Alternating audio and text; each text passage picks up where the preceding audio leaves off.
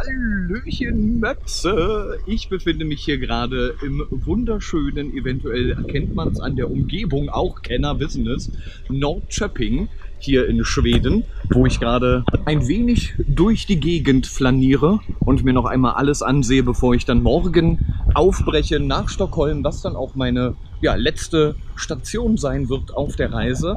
Jetzt natürlich auch aufgrund der Umstände äh, alleine unterwegs, weswegen sich darauf geeinigt wurde, jetzt vorerst auch mal nicht mehr alleine nur noch durch die Walachei irgendwie zu tigern und alleine zu zelten, sondern halt die Städte direkt anzufahren und sich einfach die Umgebung anzusehen, wie heute zum Beispiel in Nordköping, was auch wunderschön ist, weil hier einfach das ist so ein geiles Land. Ich kann es wirklich nur sehr schwer beschreiben. Ich habe es ja schon probiert, irgendwie am Anfang ein paar Mal in Worte zu fassen, was mir nicht wirklich leicht fiel, wie ihr mitbekommen habt. Aber so doof wie das klingt, der Himmel ist hier einfach blauer.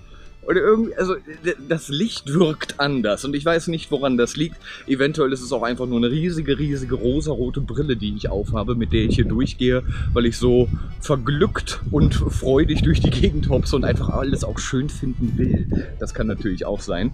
Nee, aber ansonsten, wie ihr es eventuell seht, selbst diese Parks hier mit irgendeinem komischen, ja, grünen Phallus äh, mittendrin sind einfach pups sauber. Das ist unfassbar. Und auch überall an den Häusern, man findet keine Schmierereien. Auf dem Boden ist sehr wenig Dreck. Ich meine, ich komme aus dem sehr dreckigen äh, Hauptdrecksstadt-Ding namens Berlin, was ich innerlich liebe und wunderschön finde, keine Frage. Aber das hier ist ein gehöriger Unterschied, was Sauberkeit betrifft. Und das fühlt sich sehr schön an. Das ist wirklich was sehr, sehr hübel angenehmes. Ja, ansonsten habe ich jetzt noch knapp eine Woche, besser gesagt genau sechs Tage, bis es dann zurück nach Deutschland geht. Hm, ich will hier nicht wirklich weg, versteht mich nicht falsch. Ich freue mich auch sehr, wieder zurückzukommen zu meiner Verlobten, zu meinen Katzen und auch zu meinen ganzen anderen Sachen, zu euch zum Beispiel, nicht wahr? Aber das hier ist einfach, Mann, ist das schön hier. Und ich genieße wirklich jeden Tag mehr und mehr. Das ist einfach eine geile Sache. Ich bin sehr dankbar, dass ich das machen konnte und ich bin auch noch sehr dankbar für die kommenden Tage und bin gespannt, was da passieren wird. Hier übrigens jetzt gerade, wo ich lang gehe, hinter dem äh, grünen Phallus, ist diese kleine Anlage, in der ich gestern drinne war, weil ich dachte mir so, Mensch, da ist man abends in der Stadt, dann kann man ja einfach mal was trinken gehen. Das mache ich auch so, einfach gerne. Ähm, und dann war da durch Zufall ein Kneipenquiz. Ähm, ich weiß nicht, ob ihr das kennt. Kneipenquiz ist quasi, man setzt sich in eine Kneipe und dann wird gemeinsam in Runden an den Tischen geraten und dann werden halt Fragen gestellt von einem Fragensteller aus der Kneipe und das Team, was am Ende gewinnt, bekommt, glaube ich, ein Freigetränk oder Drinks äh, dann für den Abend und oder Nüsse oder irgendwelche Giveaways.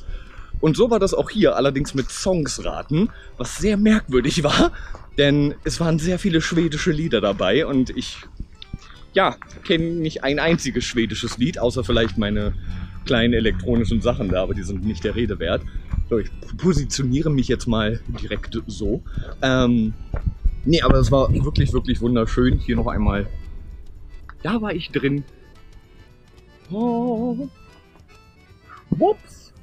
Und hier gehe ich nun weiter lang und schaue mir noch die Stadt ein bisschen an, um dann irgendwann äh, ganz bestimmt nach ein paar Kilometern wieder erschöpft in mein Hotelzimmer zu fallen und erst einmal das Bett wieder zu genießen, was oh, so schön ist, wenn man Zelten war. Ich bin nicht so ein Riesenfan von Zelten, muss man dazu sagen. Was ich am meisten wirklich hasse, kann man so sagen, am Zelten, ist dieses Geräusch des Reißverschlusses. Wenn man früh morgens um sieben aufwacht, weil da komischerweise der ganze Campingplatz auf einmal aufwacht, und dann macht das überall in allen Ecken. Ich mag das Geräusch nicht. Ich weiß nicht, da kommt mir irgendwie ein bisschen die Galle hoch. Und auch generell so auf, naja, so einen harten Boden schlafen wird dann nach der zweiten Nacht doch recht stressig für die Schultern. Deswegen so ein Bett. Oh. Und Sachen, worauf ich mich auch noch freue, wenn ich zurückkomme nach Deutschland. Mein Bett. Oh. Oh. Ich kann es jetzt schon spüren und es wird es wird ein schönes Erlebnis. Einfach hinfallen und weg einschlafen. Nee, bis dahin hoffe ich, gefallen euch auch noch die kleinen Sachen, die wir in der Zwischenzeit aufgenommen haben. aus der Umgebung von Nordschöpping und auch noch von unserem wunderschönen Aufenthalt bei Airbnb. Das war ein Glücksgriff sondergleichen, weil wir kamen in, jetzt lasst mich lügen, wie hieß der Ort? Ähm, ja, nicht Waldemarswiek, sondern irgendetwas anderes mit V. Auch nicht Vecchio oder ja, so ähnlich ausgesprochen, irgendwas anderes. Und wir kamen halt dort an um 17, 18 Uhr so. Und es gibt in der ganzen Stadt, da wo wir waren, fünf Hotels, was großartig war. Und wir haben bei jedem Hotel angerufen und probiert, einen Platz zu bekommen. Es gab keinen Platz mehr. Der Campingplatz hatte mittlerweile zu, weil der komischerweise um 18 Uhr geschlossen hatte. Und dann saßen wir da und dachten uns, ach du Scheiße, jetzt müssen wir irgendwie auf dem Busbahnhof schlafen oder die Nacht durchmachen, irgendwie mit dem Notebook irgendwelche Filme gucken, uns bei Laune halten. Aber dann haben wir gedacht, Mensch, Airbnb ist auch eine Sache, die es ja gab. Und dann haben wir dort ein Traum, wirklich ein Traum von einem von einer Anlage gefunden, die umgerechnet, ich glaube, 50 Euro für uns beide pro Nacht gekostet hat. Und die Bilder, die seht ihr auch, das ist das mit dem Wasserfall, mit dem Kleinen, mit der Ruine. Das war so schön und Gastgeber oh, so freundliche Menschen. Also wenn die das an dieser Stelle hören, ganz bestimmt nicht. Die haben leider kein Wort Deutsch gesprochen. Es, wow, also war wirklich eine schöne, schöne Erfahrung. Also wir haben hier sowieso nur schöne Erfahrungen. Ich probiere das irgendwann mal alles ein bisschen zusammenzufassen. Eine nicht ganz so schöne Erfahrung für mich heute war, dass ich vergessen hatte, weil ich Möwen schön finde, glaube ich einfach nur, hatte ich vergessen, dass Möwen ja eigentlich auch Fleischfresser sind. Und ich durfte miterleben, wie eine Möwe einen angefahrenen Vogel tot gemacht hat. Nochmal, also der Vogel war erst ein wenig, ja, angeknackst und hat probiert, irgendwie wieder zu Leben zu kommen. Und die Möwe hat sich auf ihn gestürzt und hat ihn zerfleddert und dann gegessen. Vor meinem Fenster, quasi auf der Straße. Das war ein bisschen merkwürdig. Das war ein bisschen merkwürdig, möchte ich sagen. Aber ja, das sind auch so Erfahrungen, die man mitnimmt. Muss ja nicht alles nur schön sein, sondern auch so, auch mal so, nicht wahr? So, ich gehe jetzt hier nochmal am Brunnen vorbei.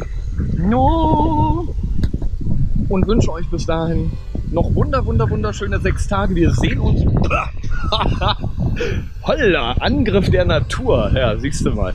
Ähm, wir sehen uns sicherlich noch einmal aus Stockholm, wo ich 100 Bilder machen werde, höchstwahrscheinlich. Weil es wurde mir schon gesagt, dass Stockholm so ungefähr mit eines der schönsten Dinge sein soll, die ich sehen werde auf meiner Reise. Was für mich mittlerweile, zumindest hier in Nordschöpping, sehr schwer zu glauben ist, weil die Stadt unglaublich schön ist. Also wirklich unglaublich schön. Ich habe auch schon Nachtbilder gemacht. Nacht, also während der Nacht. Oh, hier ist alles erleuchtet und hier ist, oh, ich will ja nicht sagen, hier tobt der Bär, weil hier ist wirklich wenig los aber hier gehen dann nur nette Leute umher. Du hörst Leute nur lachen und jetzt nicht Lieder grölen, sondern freundlich Lieder singen aus allen Ecken und Enden. Das ist alles so ein bisschen verträumt, ein bisschen, ein bisschen sehr schön. Ein bisschen zu schön. So, ich hoffe, ich sage nicht zu oft schön im schönen Schweden. Ne? Und bis dahin, euer Frank Royal. Over and out. No,